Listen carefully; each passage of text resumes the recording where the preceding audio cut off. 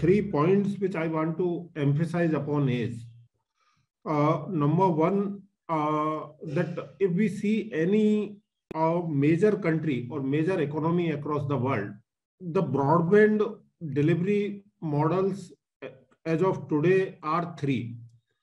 The uh, cellular connectivity, which we have uh, across the country uh, with most of the coverage using LTE. The second is the fixed line broadband to the individuals.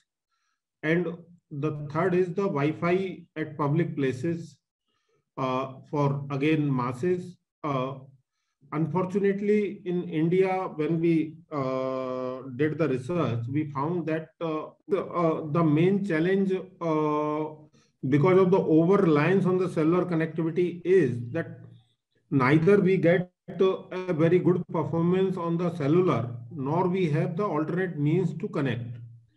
So keeping all those things in mind, uh, the government decided to uh, focus on proliferation of the public Wi-Fi hotspots.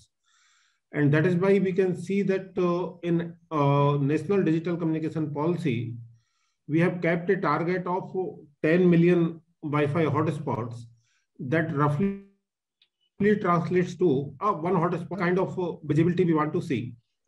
The second thing is uh, when we uh, uh, see the uh, ambitions or the objectives of the government, we have planned one crore public Wi-Fi hotspots across the country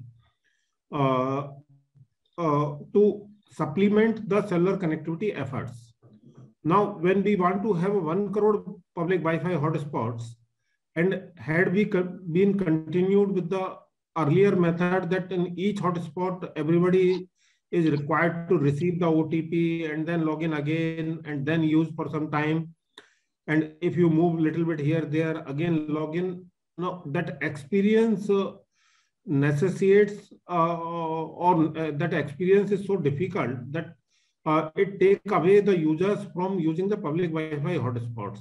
So in essence, the public Wi-Fi hotspots, uh, sorry, PM WANI facilitates the use of the public Wi-Fi hotspots seamlessly.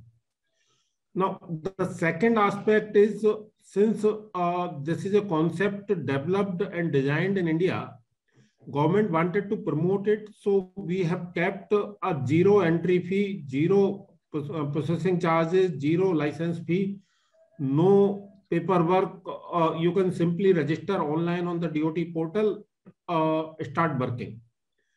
The third thing is uh, it provides opportunities for a various kind of uh, entities. Uh, if you want to be, uh, if you are a retailer, then you can establish the PDO, that is the public data office, just like uh, the yesteryears PCOs. If you are a tech guy, you can be an app provider or the PDO.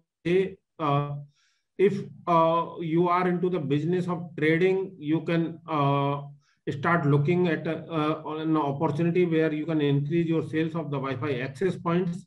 So it basically creates a complete ecosystem.